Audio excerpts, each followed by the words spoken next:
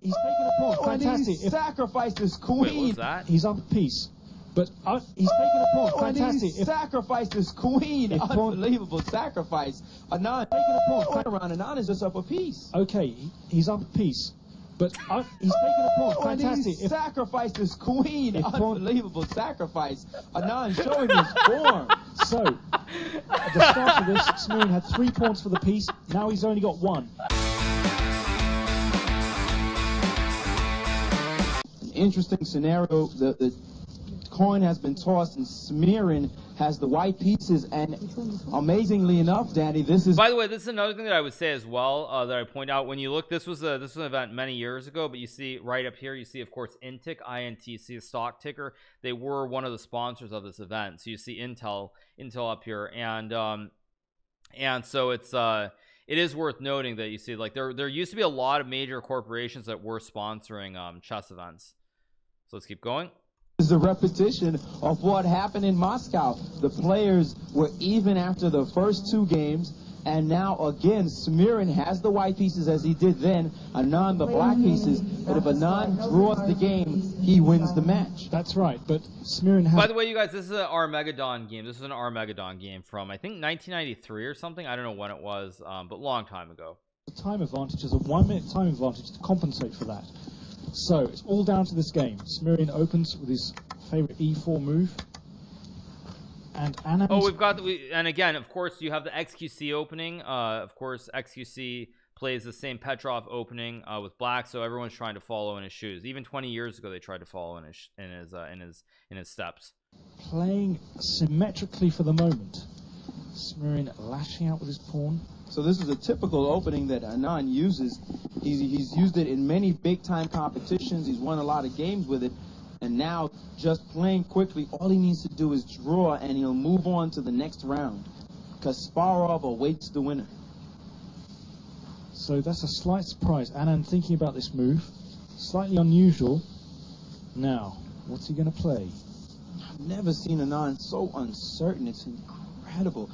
He's spending a lot of time on his clock, and you have to remember that he's spotting Smirin a minute, and for him to be thinking this deeply, and it's only like the fourth, the fourth move on the board. It's incredible. Smirin playing very cleverly here. Now, what's he going to do?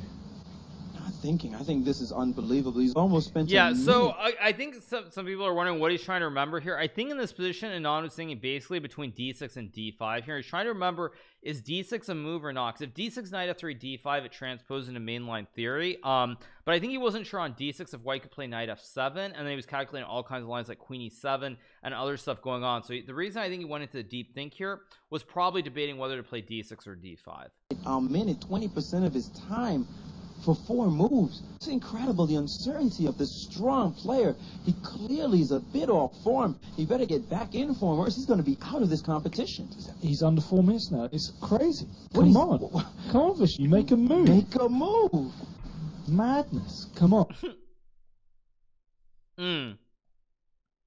That sounds like what, what I say half the time in sub battles. Like, make a move, make a move, just move, make a move. Incredible the uncertainty of this strong player.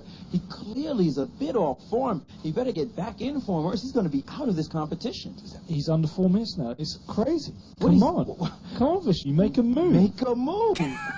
Madness. Come on. This is this is unbelievable. This this is shocking. I, I'm stunned to see it. He's thinking this long on, on, on this the fourth move of the chess game, analyzing what I do not know. But Smirin has successfully thrown him off, and now he's used a minute and 30 seconds to think about four moves. This is completely ridiculous. He's putting himself into a deep, deep hole. Yeah, I mean, this this simple recapture of the pawn by white is a little bit unusual. Normally you attack this knight first. Having said that, the position is fairly simple. What is Vishy doing? Finally made a Yeah, so see, uh, this is what it's about. Like I said, he was debating whether d6 or d5 because I think probably at the time he wasn't 100% sure what the what the theory was and he, he wasn't sure if d6 was playable or not. Like I think d6 was the first instinct, but he got worried about like knight f7 and all kinds of other tricks. And I think mainly he just panicked and he, he just wanted to make sure that knight f7 is not a move here. I think that's what it was more than anything else. Um, because d6 and d5, I believe, are both moves in this position. The move, I mean, could it could it have been that dramatic? I do not know what he was thinking about, but it's certainly surprising. He spent all that time and finally he's chased the knight. And by the way, the other way you know that the, that this was a little bit unusual, is, or at least at the time was unusual, is because you see here White has 537, but but the guy who's playing the white piece, Ilya Smirin, does not make his move instantly. So that's that's actually also worth although, noting. Although he's renowned to be an See, incredible speed like player, we've here. seen him uncertain in this match. He he needs to get his form back, and he's lost a lot of time in the clock, and he needs to start whipping out some moves. And finally, mm-hmm. he's pushed his pawn up, and now he's beginning to play a little bit quicker. The bishop attacking, and now his knight has come out into the game, and now he's speeding up. The king is castled.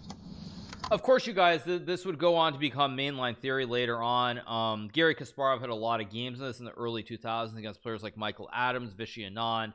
Um, I think also even Vladimir Kramnik a couple of games as well in the early 2000s. So this this ended up becoming mainline theory, but but at the time it wasn't known. I think Vishy his d6 d5 think was mainly because he didn't he wasn't sure what it was. But then once he once he stopped seeing the boogeyman he, and went d6 d5, then you see he was back in his preparations, which is why he could make all these moves very quickly. So this is a fairly well-known position, um, but Anand has used almost two minutes. By the way, you guys, this is still known. This is still a known variation even today. Uh, there have been many games played in this. So, so again, I think Vishy thought forever because he, he he just wasn't 100% sure. He saw a boogeyman and he just he, he wasn't sure if d6 was playable. And he's like, I think it's this move. Then he started seeing all these all these ghosts, and then he started thinking, then then doubting himself, then going back, and finally he played d6 d5.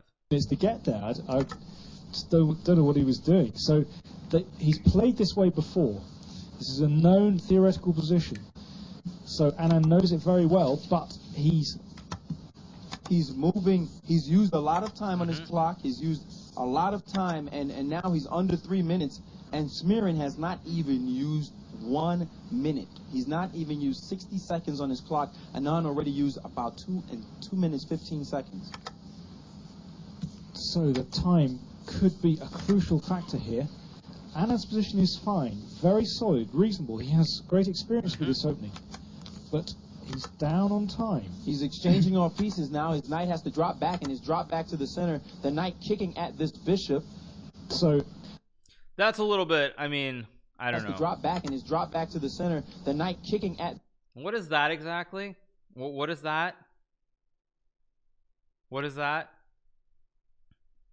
I mean, that, what is what what is that? Anyway, okay, let's keep going. Bishop. So let's let's suppose he wants to save that bishop. Well, then he'll have to drop it back one square. He doesn't want to do that. He's left it alone. Smirin increasing the pressure. Now this knight is stopping this attack down towards the king. The queen and bishop in a very threatening battery down here. So the pawn has come up. He's taken. Oh, this is fantastic. He's taken this pawn. He's sacrificing a piece. And now. Smirin has collected another pawn. It seems as if he thought he was going to win this knight, but Anand has defended it quite simply with this bishop move, and maybe Smirin is going to be down a piece. Okay, but Smirin has two pawns for this piece. Are we sure this isn't from the 70s? Yeah. He's, he's, now got a third. So he has three pawns for the piece. That's compensation itself. I can't help but think, though, that Anand up a piece is a lot more confident. He's starting to move like his old self. He's gotten the challenge, and he's going to try to meet it, moving much quicker, moving his king now. I think Anand does win this game, by the way. Deadly diagonal. He's put it in the corner, hiding it, and he has a piece. But as you said, Danny, three pawns for it is what White has. Yeah, but I mean, I would still prefer I would prefer White's position here, definitely. And at least Anand has something to go for now it's Knight fairly four. clear where his chances lie. Knight f4. So he's down on time, but he's got something to play for now. He's whipping off moves. There's suddenly a pause in the situation. Look at Smirin's bishop. Despite being a piece down, he has some healthy Knight bishops sitting in the middle of the board, and he's attacking a pawn, okay. and Anand has ignored it.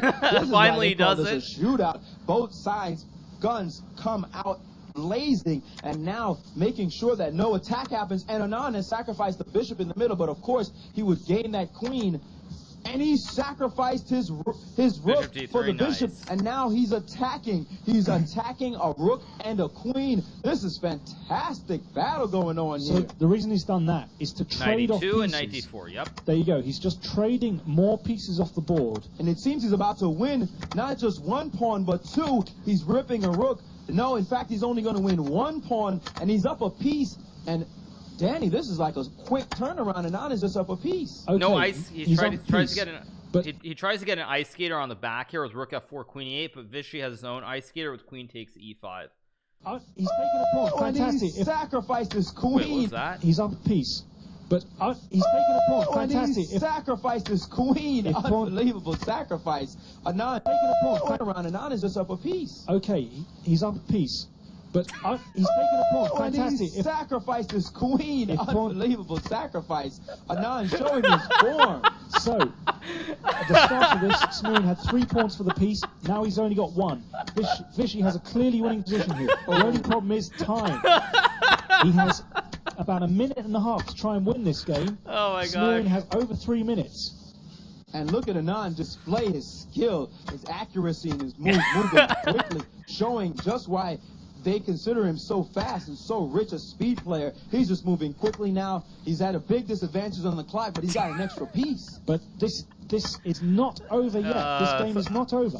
Anand has only a It minute should be and a half that should to be try the and new win sub this game. sound. And look at that position, the pieces. Oh, and he thumped that rope down with authority, and bam, he's ripped off all the extra points. He's just got a pass and look at him make a minute look like a year. He's ripped another point off the board.